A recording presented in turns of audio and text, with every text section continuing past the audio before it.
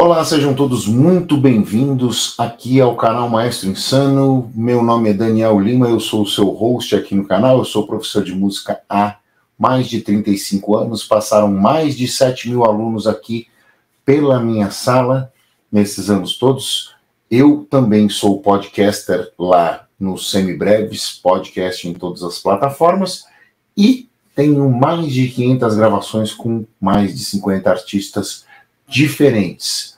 Hoje nós vamos falar sobre a continuidade da expansão da tonalidade. Vamos nessa direção, especificamente de um tópico muito interessante. Nós vamos falar sobre acorde de empréstimo modal ou modulação instantânea para o homônimo. Do que será que se trata isso? Por que os dois nomes? Para que time torce cada um desses? Vem comigo, vamos desvendar esse mistério juntos. Bora lá.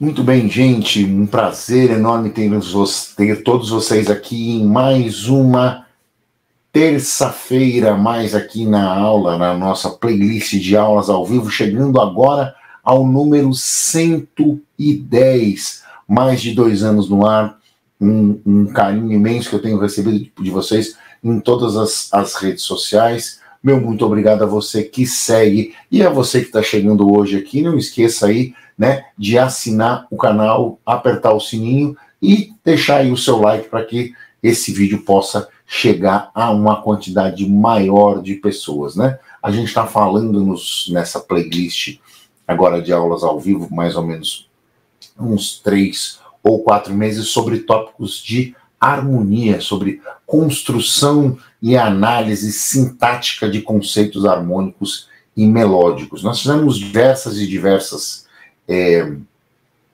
estratégias aqui no canal nesses anos, esses mais de dois anos que a gente fez, e nós estamos dividindo aqui as, as aulas em duas grandes playlists. A aula de terça-feira, que é a aula, a chamada aula ao vivo, a aula, a playlist de aulas ao vivo, que é a primeira, a irmã mais velha daqui do canal, e a outra playlist de, de quinta-feira, que é o Desvendando os Mistérios da Harmonia através da análise harmônica, quando a gente pega um tema, uma música nacional e internacional e disseca, né? Faz, faz a análise ela colocando lá as funções dos acordes, etc., tentando entender o centro tonal, os graus e todas essas coisas que cada acorde está fazendo, que função ele está exercendo, como estamos trabalhando dentro desta ideia, dentro daquele tema. O que aqueles acordes significam dentro dessa progressão. E isso, à medida que a gente vai fazendo análises, vão surgindo demandas novas, né? vão surgindo novas dúvidas, novos tópicos, novas é, uh, matérias de interesse. Especificamente nessa semana passada, a gente fez mais um clássico jobiniano na quinta-feira passada, a gente fez Wave, né? Do, do Tom Jobim, e foi um, é uma música incrível, uma música por, por, pela qual eu tenho o maior carinho do mundo, é, eu adoro essa música, e aí surgiram alguns, na análise, na análise de quinta-feira, surgiram algumas coisas diferentes, né? Surgiram é, coisas que eu ainda não tinha falado, que é especificamente do que nós vamos tratar hoje, que é o, o, o acorde de empréstimo modal ou a modulação instantânea para o homônimo, né? Essa é uma das características mais interessantes de, de, da expansão da tonalidade, né? a possibilidade de trazer outros acordes além daqueles do campo harmônico. Por quê? Só para a gente lembrar e contextualizar, para nem todo mundo chegou aqui desde a primeira aula que eu estou falando sobre isso, né? A gente começou falando sobre a construção dos acordes, falando sobre quem eram esses acordes, falando sobre cada uma das famílias de construção dos mesmos, falando sobre as tétrades, né? Maior, menor, dominante, meio, diminuto, e depois posteriormente a tétrade diminuta. E aí a gente colocou isso dentro do contexto tonal, ou seja, colocou onde essas tétrades moravam, dentro dos respectivos campos harmônicos. Nós falamos até agora de três. Falamos do maior, do menor natural e do menor harmônico. O menor natural e o menor harmônico, lembrando que a gente trabalham em congruência, trabalham juntos, né? A gente não fala campo harmônico menor harmônico ou campo harmônico menor natural quando vai analisar uma música, a gente fala sempre campo harmônico menor. E assim a gente consegue analisar usando uh, os dois campos harmônicos juntos, perfeito? Essa é a nossa ideia. Muito bem. Quando a gente fala sobre expansão de tonalidade, a gente tenta trazer uh, outros, outros acordes além desses do, do, campo harmônico. Essa é a ideia, porque em princípio era para entender os, o raciocínio da, harmônico, melódico, as regras de harmonia, você tinha que responder aquelas três grandes questões do grande Hilton Jorge Valente Gogô, meu mestre. Quem são, onde moram e como se movimentam? Quem são? As tétrades. Onde moram? Nos campos harmônicos. Como se movimentam? Através das marchas e funções harmônicas. Ou seja, Dentro do tonalismo, você, cada um desses acordes, assume uma função específica e entrega à, à progressão um nível maior de tensão ou resolução que vai trazer para mais perto ou mais longe do centro tonal, caracterizando assim o discurso harmônico para suportar uma melodia, seja ela qual for, para apoiar uma melodia, né? Suportar é support, né? Foi um, um, um eu me enrolei num, num cognato aí em inglês. Então é apoiar uma melodia, não suportar, né? Support é apoio. Perfeito? De vez em quando dá uns creu, né? Misturam os, os termos em, em, em, português e inglês, rolam umas Luciana Gimenez, assim, né? Enfim, é isso. Bom, seguindo então nessa ideia, a gente colocou lá os sete acordes dos campos harmônicos e começou a estender essa possibilidade, falando sobre outras características, outras marchas que podiam ser aplicadas às mesmas. A primeira que a gente falou foram dos dominantes individuais, né? Então, além daqueles sete acordes iniciais, você tinha também os dominantes que preparavam esses acordes, assim como o do próprio dominante do campo harmônico é, preparava o acorde 1.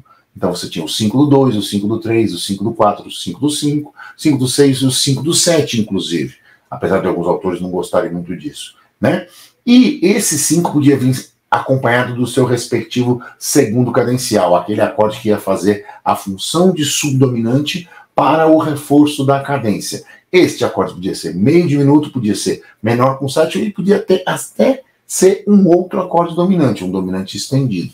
Era essa a ideia e isso a gente chamava de 251, recorrendo a um outro velho mestre meu, que dizia, o Marcos Siqueira Cavalcante Marquito, e dizia que a harmonia para a música popular é 251. Essa era uma das máximas dele. É uma hipérbole? Sim, é uma hipérbole. Tem muito mais que 251, sim, muito mais. Mas a raiz do negócio está ali dentro do 251, onde você vai poder encontrar os meandros iniciais dessa coisa como um todo. Perfeito? Muito bem. A partir disso, aí a gente começou a tentar estabelecer novas relações de dominante e tônica, ou seja, de preparação e resolução. A gente recorreu também ao acorde diminuto. Fizemos a apresentação do acorde diminuto, as suas características de simetria, como entendê-lo, tanto quanto a sua construção, onde encontrá-lo no campo harmônico, a única posição diatônica que ele aparece lá no sétimo grau do campo harmônico menor harmônico, e qual a sua função dentro das progressões, como ele se movimenta, respondendo aquelas três grandes questões: quem são, quem é, onde mora e como se movimenta. Essa, era essa a ideia. Depois disso, na aula passada, nós colocamos o tal do dominante substituto. Ah, aquele dominante que podia tro ser trocado com um outro acorde dominante sem prejuízo da função. Ele tinha ali dentro da sua construção um intervalo incomum, que era justamente o trítono, aquele intervalo que gera a tensão necessária para a preparação do acorde e consequente definição do repouso, definição do outro acorde como um acorde tônica. Se você faz isso para o acorde 1, como a gente fez lá com o dominante principal, você pode fazer para todos os outros. E a gente vai chamar isso de sub-5 ou sub-quinto, ou dominante substituto do 2, do 3, do 4, do 5 e assim sucessivamente. Diferentemente do, do movimento das tônicas do acorde dominante para o acorde tônico, do 5 para o 1, onde você tinha o movimento do baixo quarta justa acima do dominante plutônico ou quinta justa abaixo, no subquinto você ia segunda menor abaixo, ou seja, você descia um semitom cromático. E ele mantinha ali o mesmo trítono na sua construção. A ideia de substituição era a lei. Todo acorde, todo par de acordes dominantes que tiver entre si três tons de distância ou um trítono possui na sua construção o mesmo trítono, o mesmo intervalo é, construtor entre as suas terças e sétimas, podendo ser substituído um pelo outro sem prejuízo da função harmônica. Perfeito? Eu passei muito rapidamente, agora perdi aí uns 10 minutos para dar uma contextualizada de tudo que a gente vinha fazendo. Perder a gente nunca perde, né? a gente reforça o conteúdo aqui. Então, se você achou que eu passei muito rápido por isso, convido a rever as aulas a partir da aula 104, 105, 106, 107, 108 e 109.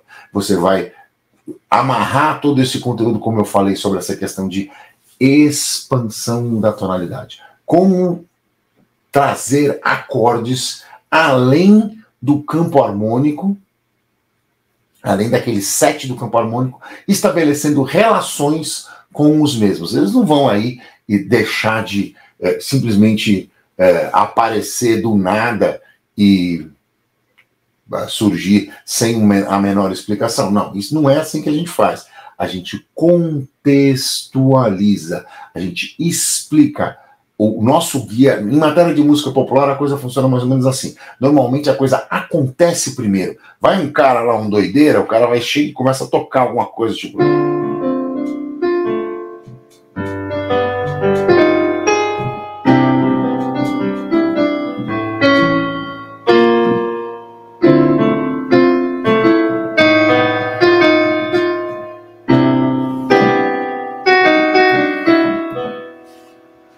E aí o cara tocou e falou assim: Nossa, tem algumas notas aqui que são tão diferentes, né? Quando você toca isso aqui.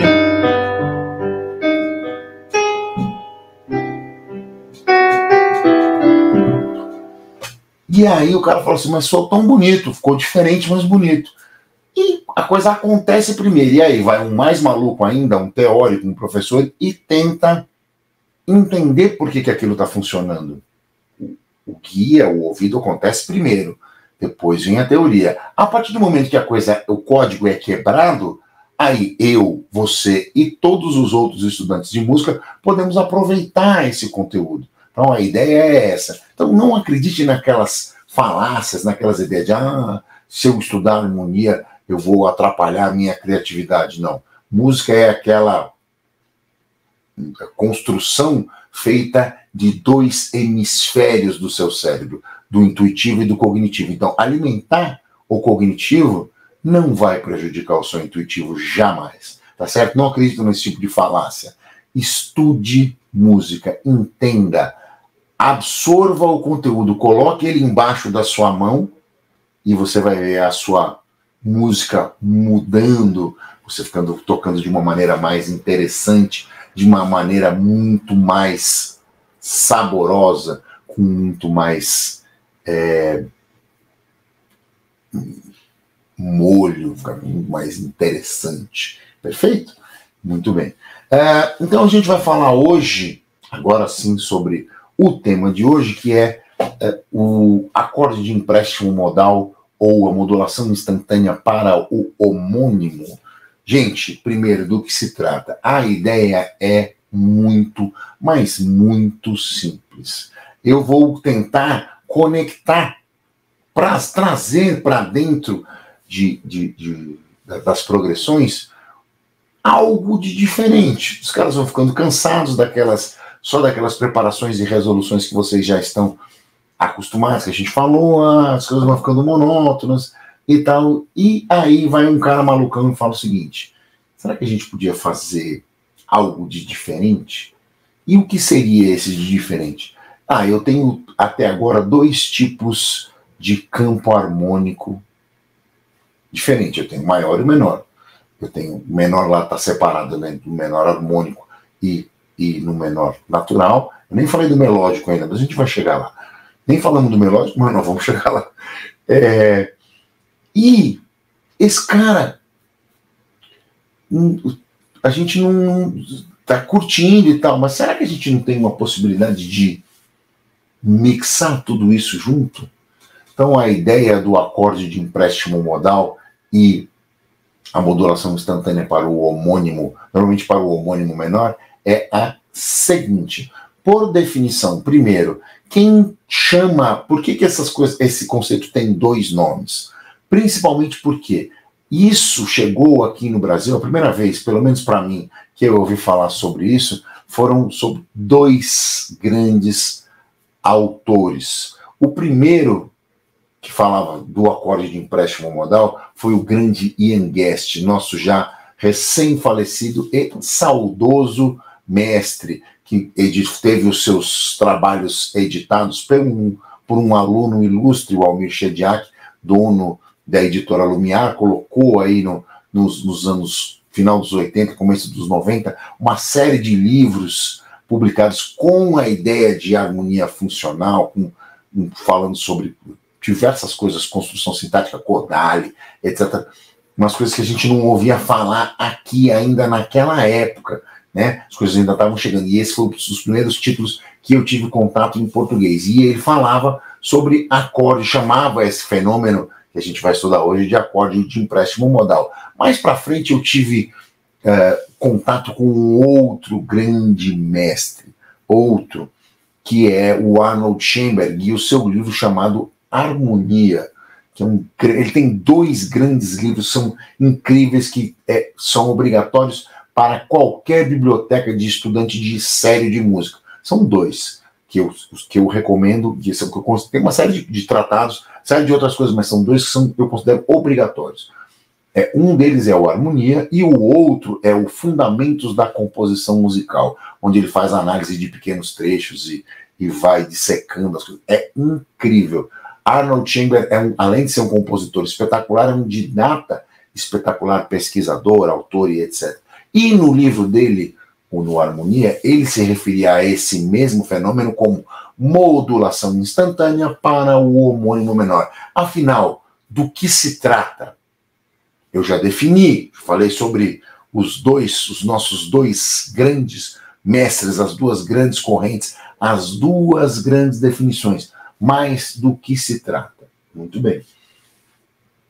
Ele é mais comum, esse fenômeno é mais comum quando eu estou no campo harmônico maior e tenho, visitando a essa tonalidade, um acorde, um ou mais acordes do campo harmônico menor de mesma tônica. É isso, fundamentalmente. Então, o que o, o Almir Shediak e, e o Ian Guest definiam como acorde de empréstimo modal era o acorde que estaria sendo emprestado do outro modo, do modo menor, no caso. Né? Eu estou lá no campo harmônico menor, no campo harmônico maior, coloco um acorde do campo harmônico menor lá, e aí a coisa funciona, dá muito certo. E o que o Chamber definia, Chamber tinha uma maneira mais acadêmica de enxergar a coisa. Ele começava dizendo que é, não existem, por exemplo, notas de passagem. Não existe. Você tocou a nota na melodia, está na harmonia. Então era uma, é um conceito completamente diferente. Pensando nisso, pensando na maneira como ele enxerga o conteúdo, ele vai te, te mostrar a coisa de uma forma ele fala numa modulação instantânea, ou seja, uma modulação, uma modulação rápida, uma mudança de tom muito rápida para o homônimo menor. Na prática, o que isto quer dizer? A mesma coisa. Rigorosamente a mesma coisa. Nós estamos, estamos no campo harmônico maior, estamos pegando um acorde do campo harmônico menor, e aí a gente consegue entender isso desta forma. Vamos ver como é que isso funciona? Vamos lá para a lousa? Vamos lá, gente. Olha aqui. Estamos aqui na lousinha. Vamos falar sobre os campos harmônicos. Então a gente vai falar sobre o campo harmônico maior, a gente vai precisar, e do campo harmônico menor. Não é isso? São esses caras. O campo harmônico maior, vamos falar aqui, ó, um maior, dois menor, três menor, quatro maior, cinco dominante, seis menor, sete meio diminutos. Perfeito?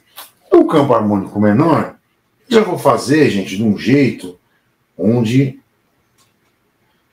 a gente vai usar os caras que nos interessam realmente. Então, um menor, dois meio diminuto, bemol 3 maior, 4 menor com sétima, 4 menor, 5 dominante, esse aqui visitante lá do nosso glorioso campo harmônico menor harmônico, bemol 6 com sétima maior, e aí eu tenho duas possibilidades. Eu tenho o bemol 7 dominante e o 7 diminuto. Todos esses caras, esses, vou, vou fazer um, um tracinho para lembrá-lo aqui, ó. Vou fazer um, uma, um quadrinho aqui.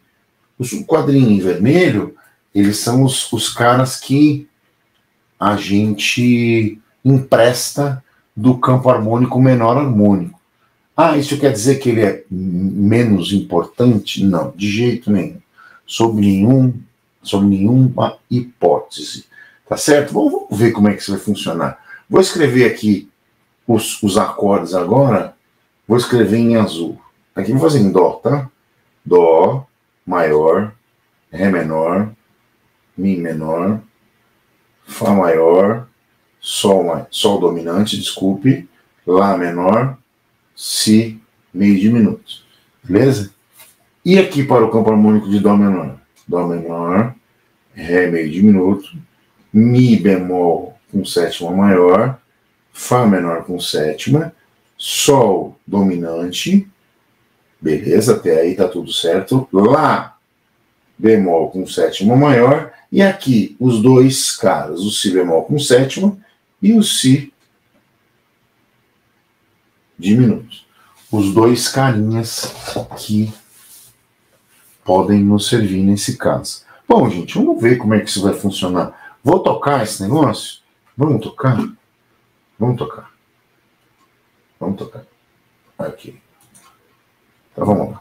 Vamos tocar o campo harmônico de Dó maior. Então Dó maior, aí. Ré menor. Mi menor, terceiro grau. Fá maior. Sol dominante. Lá menor com sétima. Si meio diminuto. Cheguei no Dó maior de novo. Beleza. Vamos fazer o Dó menor agora. Dó menor. Primeiro grau. Aí o Ré meio diminuto é o segundo grau. Aí vou fazer o Mi bemol com sétima maior. Bemol 3. Aí o Fá menor com sétima. Sol dominante.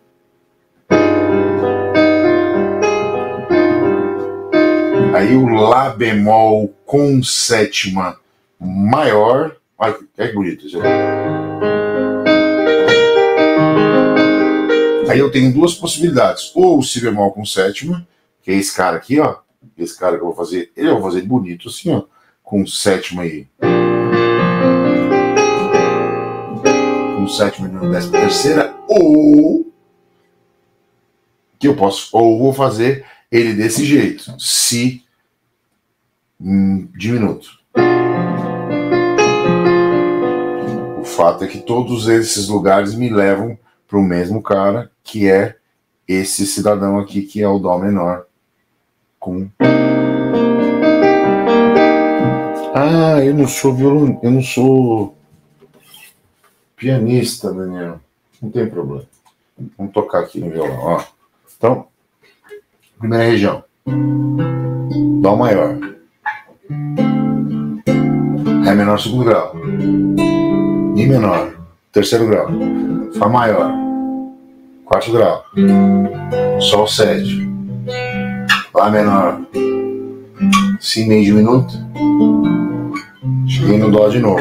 Assim, outra posição. Dó. Ré menor. Ré menor com sétima. Mi menor com sétima. Fá com sétima maior. Sol com sétima. Lá menor com sétima. Si meio diminuto. E. Aí começando de outro lugar aqui. Dó. Ré. Mi menor. Fá maior. Sol 7. Lá menor. Si meio diminuto. E Dó. Então você tem lá pelo sistema Caged, que eu já falei para vocês algumas vezes, várias maneiras de distribuir esses voices, certo? Vamos falar sobre o campo harmônico de Dó menor agora. Então lá, Dó menor, Ré meio diminuto, Mi bemol com sétima maior, Fá menor com sétima, Sol dominante, Lá bemol com sétima maior, aí você pode fazer Si bemol com sétima, ou Si diminuto e Si bemol com sétima, ou Si diminuto e chegar no Dó menor. Mesma coisa em outra, em outra região. Dó menor, Ré meio diminuto, Mi bemol, aí Fá menor você pode fazer aqui, Sol dominante, Lá bemol com sétima, aí o Si bemol 7 e o Si diminuto e o Dó menor aqui. Aí eu posso mudar o Dó menor pra cá. Aí o Mi bemol aqui, Fá menor, Lá, lá bemol com sétima maior. E aí para o Si bemol, você pode fazer aqui, e o Si diminuto, e cheguei no Dó menor. Certo? Então o violão ele tem essas, essas. E o violão e a guitarra, né, por consequência, tem essas idiosincrasias, né? Você pode fazer essas desse jeito para você entender. Agora, qual que é a proposta nesse, desse, nesse momento? Ah, agora é fazer um mix, né? Entender e fazer essa, essa ideia funcionar, né? Vamos fazer algumas progressões onde a gente possa usar. Quais são as posições mais mais usadas, mais comuns para acordes de empréstimo modal. Muito bem. Ou para modulações para o homônimo menor, depende de quem você vai pensar. Quando você está, por exemplo, como eu disse, o mais comum é você estar no campo harmônico maior e ter a visita de acordes do campo harmônico menor. Então eu estou lá, por exemplo, aqui, em, em Dó maior, vou colocar aqui. Estou aqui. Ré, Sol, Dó, Fá menor. Sete. Beleza, tá ótimo isso aqui. Como é que eu vou analisar esse negócio aqui? Como é que eu vou pegar a caneta vermelha aqui para fazer a análise disso? Bom, tá tranquilo de analisar, né? Esse aqui é o 1, esse aqui é o 5, esse aqui é o 2. Beleza. Tem um 2, 5, 1 clássico. E tem um negócio aqui que eu não consigo, não consigo identificar. Se eu for pensar, ele é um 4 menor com sétimo, porque o Fá é 4. 4 menor com sétimo não é acorde do. Este cara, esse 4 menor com sétimo, ele não é acorde do campo harmônico maior. Ele não pode ser entendido, portanto, como um acorde do campo harmônico de Dó maior. Mas ele pode ser entendido como um acorde do campo harmônico de Dó menor. Ah, e aí, como é que a gente justifica a presença do mesmo? Perfeito. A gente pode chamá-lo então de A e M, ou acorde em preço modal, ou modulação para o homônimo. Menor, no caso aqui. Né? Veja, é importante a gente falar sobre isso. Qual é o nosso espírito aqui, gente? A gente já está falando sobre isso, né? A gente está falando sobre isso já há um tempo. É aumentar a nossa gama de possibilidades de acordes a serem utilizados dentro das nossas, das nossas progressões. Muito bem. É, nós estamos tentando estender isso. Né? Surgiu mais uma nova possibilidade, que já tinha acontecido lá no Wave, né? Já tinha. Já, ali, surgiu no Wave e por isso a gente está tendo essa conversa. E a explicação é essa. Vamos ver como é que isso soa. Vamos lá, eu vou colocar na tela. Vou colocar na tela. Isso. E a gente vai tocar isso aí. Ó, vou tocar o Ré menor. Sol 7. E o Dó. Aí, quando eu vou tocar o, o, o Fá, ó, olha que, olha que choquinho legal. Ó. E, né?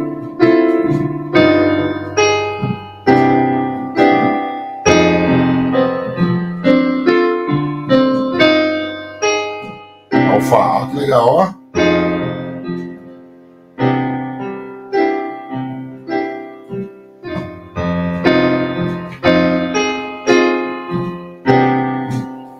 Essa cadência, essa cadência aqui, ó, do 4. Desculpe.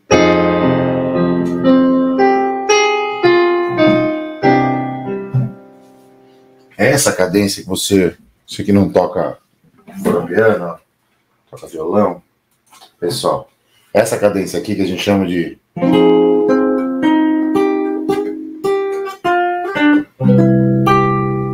a gente chama de plagal menor.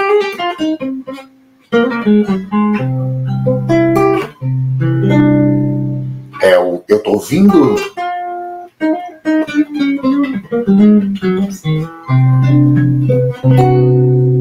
do acorde do quarto grau, ela é chamada de cadência plagal, porque ela não passa pelo dominante, elas estão indo do quarto, do quarto, do quarto grau direto para o primeiro. E ela é chamada plagal menor, porque eu estou usando este este artifício de usar um acorde emprestado da tonalidade de Dó menor, nesse caso, né? Na caso, eu estou tocando Dó maior, estou usando a, o acorde emprestado de Dó menor para reforço dessa cadência. Vamos fazer uma progressão qualquer aqui. Eu fiz uma. A que eu fiz lá era esta aqui, né? Ó. É, ver? Essa aqui, ó.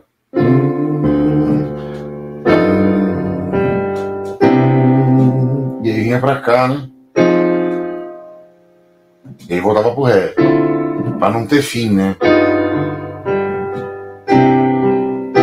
Essa é pro Fá. Pra ela não parar. E se eu quiser parar? É só eu vindo, ó, do, do Fá Dó. Dá pra terminar aqui? Tem um caráter de finalização? Tem um caráter de finalização. Tem esse saborzinho, né? Do plagal menor. Então, essa é uma das características. Isso é o que a gente pode chamar de acorde de empréstimo modal. O quarto menor com sétima na progressão. Funciona maravilhosamente bem. Vamos ver mais um desses? Vou usar aqui uma, mais uma, a mesma ideia, tá, gente? Vou colocar aqui mais um, mais um exemplo. Vou colocar a luzinha para ajudar a gente. Ups, desculpe. Isso, muito bem. Ok. Então, vamos em Dó maior, tá? Vou fazer aqui, ó. É, um Ré menor, Sol 7. Ah, eu vou pro Dó? Não. Vou fazer um Lá bemol com sétima maior e depois Dó. Ah, vamos fazer análise disso aqui? Vamos lá. Vamos fazer análise. Vamos chamar isso aqui de sequência B, né? Já que a outra sequência era A, vamos chamar isso aqui de sequência B. Chamar de sequência B. Então, na sequência B, a gente vai ter aqui 2, 5 e 1. Um. Maravilha. E esse alienígena aqui?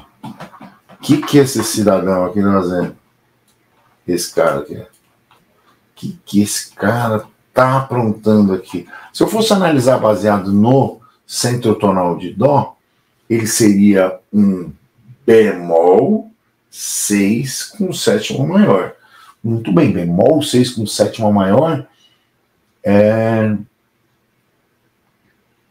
não é um acorde do campo harmônico de Dó maior.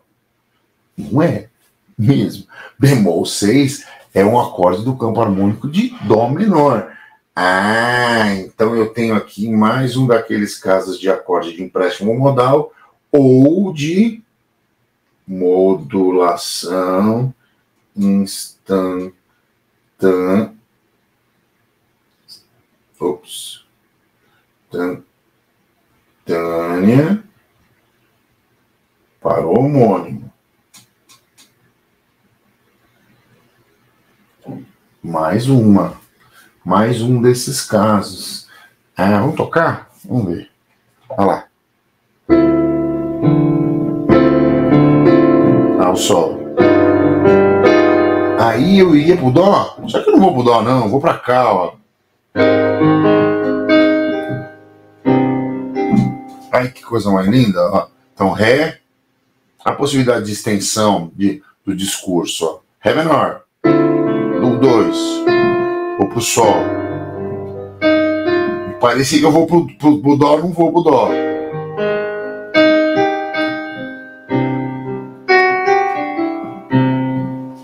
De novo, um pouquinho mais rápido para poder dar a ideia do, do, do sabor do acorde.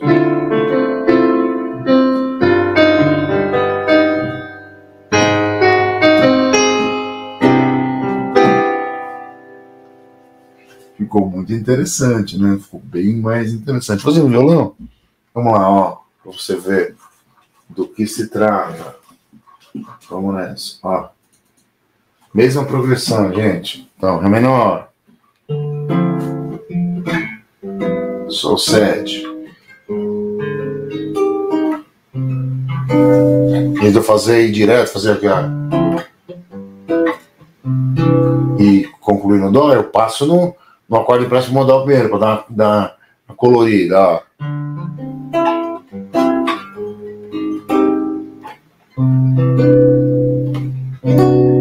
Aí legal. Dois, cinco.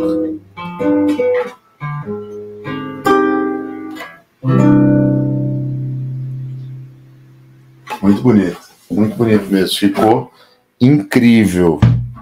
Muito bem. Será que funciona assim com, com os outros acordes também? Eu posso usar este sabor.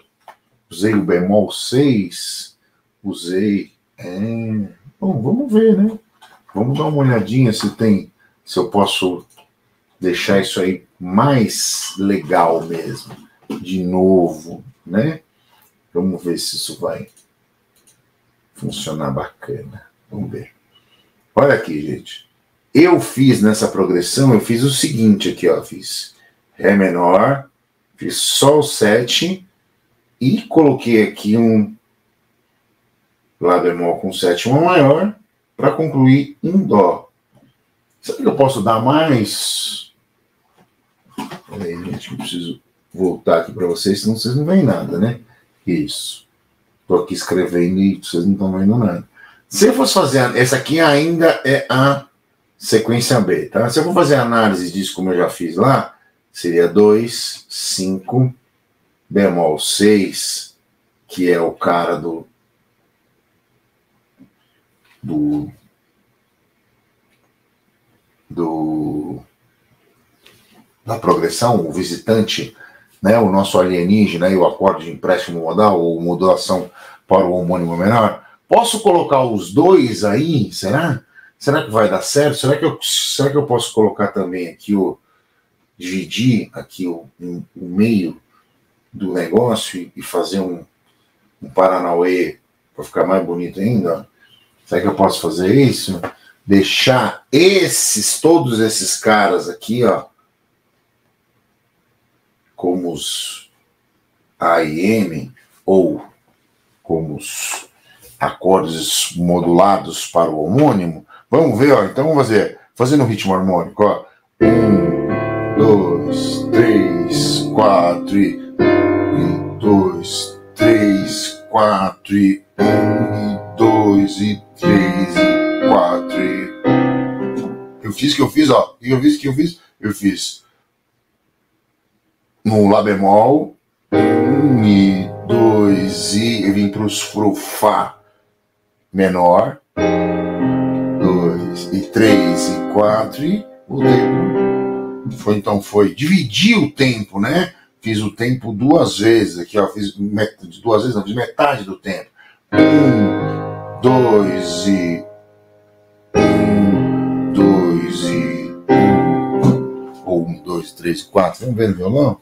Vem comigo, ó. Também funciona maravilhosamente bem, ó. Veja você que loucura. Aqui.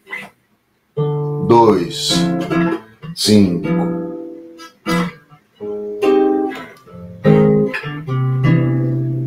Hum. Vamos fazer num outro voz, assim, ó. Um, dois, três, quatro. Dois, três, quatro. Bonito, hein? Ah, que legal.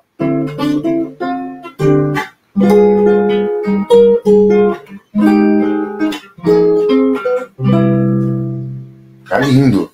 Eu vejo que você pode ir colorindo de uma maneira diferente as suas progressões.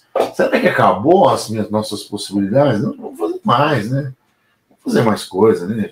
Estamos aqui mesmo, vamos tocar o terror aí, né? vamos encher mais de coisa aí. Bora lá. Será que cabe mais coisa aqui? Vamos ver. Vamos nessa. Vamos. Ops, caneta de cor errada. Deixa eu colocar aqui de volta a caneta preta. Vou fazer, ó, uma peraltice aqui. Eu tô com esse Lá bemol com sétima maior, com o Fá menor e aqui o Dó, né? Deixa eu fazer esse Dó um pouco mais para cá, porque aí vai caber mais coisa aqui, né? E se eu colocasse aqui mais um acorde de empréstimo modal para dar mais sabor, né? Até aqui eu eu estou usando dois, né?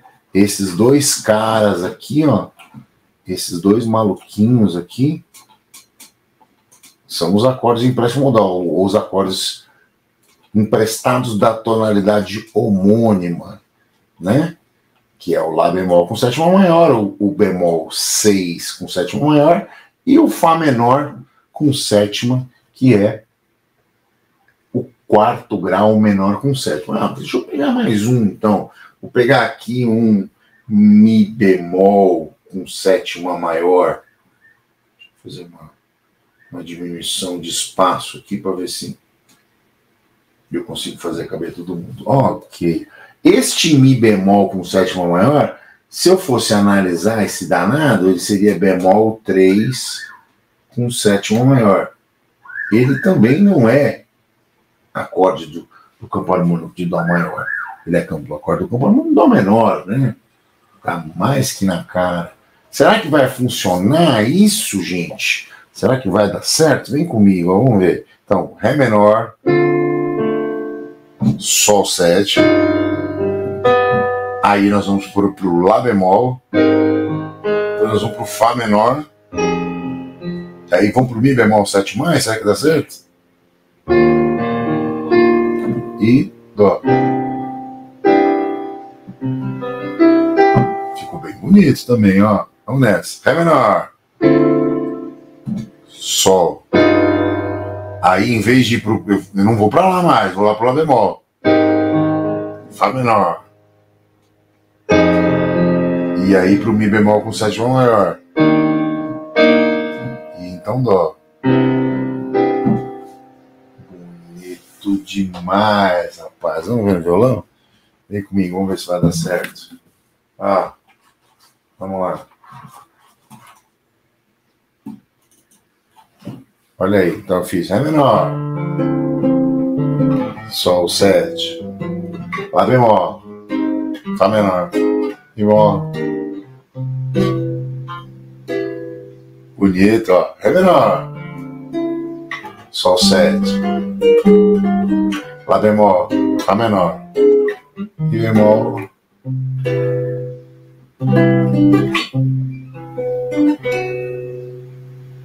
Bonito demais, gente. Veja. Então, fica aí a dica de.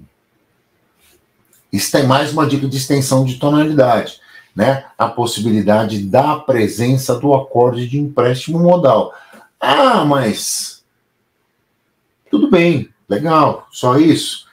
A gente pode levar, juntar mais conceitos, usar a ideia do construtivismo, né, para que eu sempre faço aqui no, no, no, canal, sempre faço em todos os meus cursos, todas as, as, as minhas aulas particulares. É, eu sempre procuro usar a, a ideia, a estratégia construtivista, que é de unir ao, algo que você já conhece, um, uma nova pílula de conhecimento e fazer esse conhecimento florescer, né? Essa é a ideia. Então, o que, nós vamos fazer agora, nesse momento? Muito bem, a gente estava usando o conceito dos, dos dominantes individuais, né? A gente usou isso. Então, a gente estava aqui nessa, nessa nossa ideia aqui, ó. Deixa, deixa eu colocar a lousa para você aqui. Aqui. Eu coloquei aqui a lousa. A gente estava aqui, né?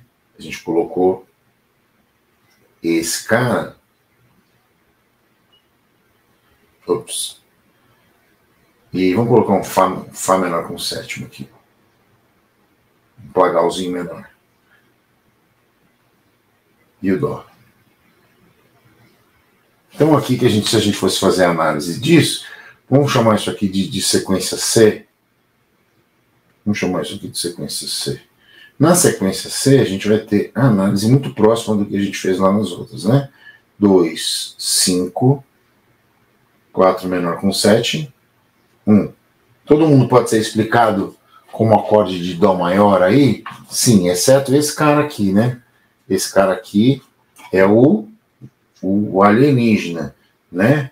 O diferentão, o acorde de empréstimo modal, ou o acorde da modulação instantânea para o homônimo menor. Quer dizer a mesma coisa, já falei sobre isso, né?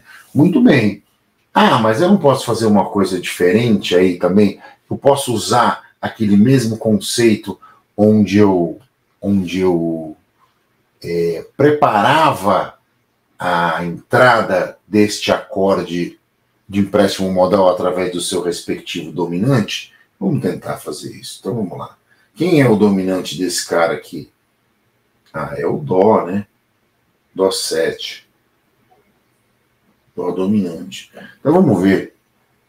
Se a gente fosse fazer a análise disso, isso seria 2, 5, 5 do 4 menor com sétima, 4 menor, menor com sétima e o 1 um sétimo maior. Vamos ver. Olha lá.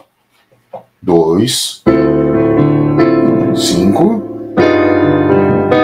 Aí eu vou para o.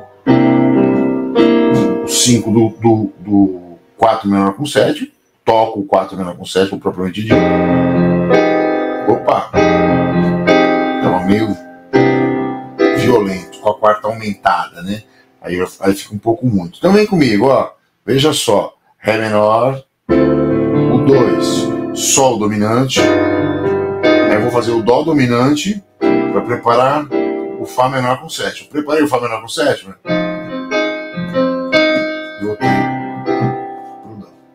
E aí ele funciona como o dominante individual desse cara. Ah, posso fazer mais uma fusarquinha aí?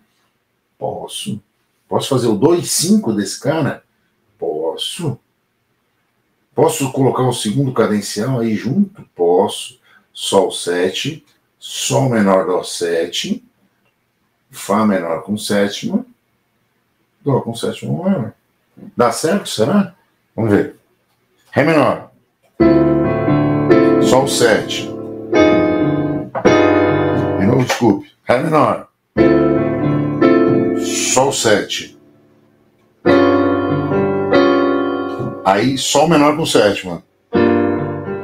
Dó 7, vou pro Fá menor. E cai no Dó. Vou repetir, gente. Ré menor. Estendendo a tonalidade, Sol 7, um pouco menos violento que aqui. Aí faço Sol menor, Fá para o Fá menor e Dó. Vamos ver no violão? Vamos ver se, se ele orna aqui.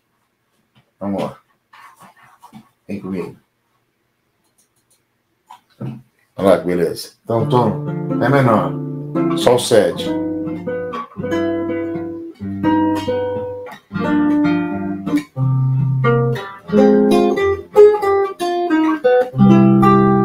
Ah, que legal. Ré menor.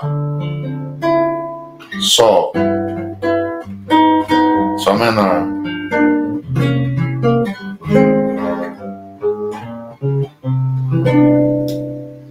Bonito. Bonito demais. Veja, gente. Então, essas são possibilidades de extensão de tonalidade e explicação da presença de acordes diferentes, né? mais uma possibilidade, o tal do acorde de empréstimo modal ou o acorde do homônimo, da, da, modulação instantânea para o homônimo menor. Como eu disse, é mais comum você estar no campo harmônico maior e pegar emprestado um, um, um acorde do campo harmônico menor. O inverso não existe? Existe também, mas é menos comum, tá certo? Então, é, esta é a ideia. Em linhas gerais, eu estou no campo harmônico maior usando aqueles, todas aquelas aqueles meandros que eu já conheço, e trago emprestado da tonalidade de mesma tônica, de mesma fundamental, de mesmo acorde 1. Se eu no Dó maior, vou para Dó menor, se eu no Ré maior, vou para Ré menor, e assim sucessivamente. E com isso eu amplio a minha possibilidade. E a esse fenômeno eu vou dar o nome de acorde empréstimo modal se você for adepto do I Am Guest e do Almir Shediak, ou modulação para o homônimo menor, modulação instantânea para o homônimo menor, se você for um chamberiano, um da turma do time Arnold Chamber. Perfeito? Muito bem, gente. Se você ainda não está no meu grupo do Telegram e quer ter acesso a todas essas lousas, ter uma experiência muito mais completa, acesse, entre lá Entra no grupo do Telegram, o link está passando aí na tela e está na descrição do vídeo. Você pode se inscrever, é 100% gratuito e ter acesso a todo esse material gráfico que eu fiz na aula. E você vai conseguir baixar lá, tanto esse dessa aula quanto todos os outros, de todas as outras aulas, cento e tantas aulas. Está tudo disponível lá no canal do Telegram, tá certo? Você também pode me seguir nas minhas outras redes sociais no Instagram e no Facebook eu sou o arroba Maestro Insano. No TikTok eu sou o canal Maestro Insano. Sempre nessas outras redes tem cortes, eh, vídeos interessantes de pedaços de aula, eh, screenshots de lousa e uma série de outras coisas. Até algumas coisas, às vezes, eu estou tocando, coisas diferentes, etc. Então, é muito interessante. Se você não me segue lá ainda, me siga, tá certo?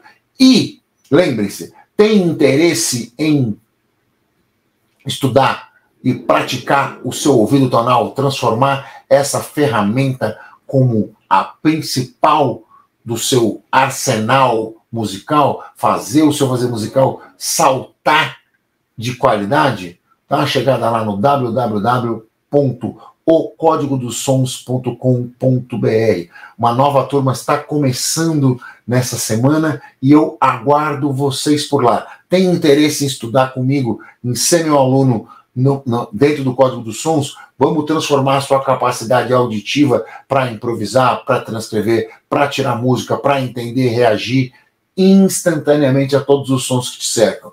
Aceita esse desafio, vem comigo, entra lá no site, dá uma olhada em tudo isso que eu estou falando, vou, tenho certeza que você vai se conectar. Beleza? Não esquece aí de deixar o seu like, de se inscrever e ativar o sininho aqui no canal, tá certo? Na quinta-feira a gente volta com mais uma análise de um tema que eu ainda não sei qual é, mas que vai apresentar novos desafios para vocês. e a gente continua buscando conhecimento, indo adiante, tentando transformar o nosso fazer musical, tentando ser um pouco melhor que ontem e um pouco pior que amanhã, sempre nesta jornada. Perfeito? Meu muito obrigado a todos vocês que ficaram comigo até agora. Bons estudos a todos e até quinta-feira às 20 horas. Valeu. Abraços.